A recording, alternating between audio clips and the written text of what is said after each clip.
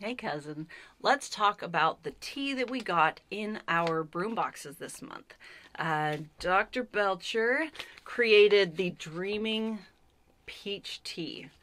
And I love that she puts the instructions right here on the bag, and they're a little bit different each month depending on the herbs that she's choosing uh, for this blend. So, kind of be mindful of that.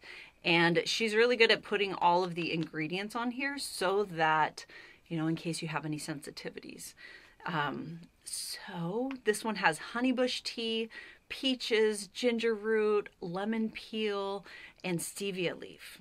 And so I am really looking forward to trying the Dreaming Peach Tea this month. Let us know what you think about it. And if you love, love, love it, we can actually get it in the shop for you too. So just let us know what you want. Have fun. Bye.